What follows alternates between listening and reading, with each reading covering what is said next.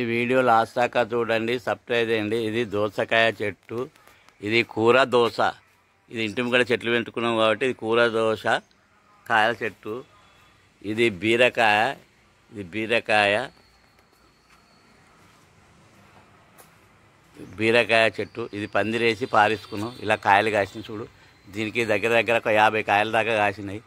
ఇవి నెలకు ఒక ఐదారు కిలోల బీరకాయలు వెళ్తాయి. ఇది ఇంటికి కూడా పందిరేసుకొని పెట్టుకున్నాం. ఇలా మొత్తం